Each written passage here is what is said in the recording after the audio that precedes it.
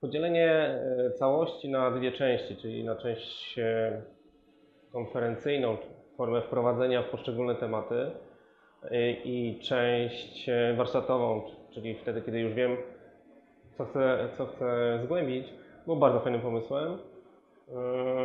Widziałem, zauważyłem, że kilka osób się przekleiło, więc na pewno miało to, miało to wartość dodaną.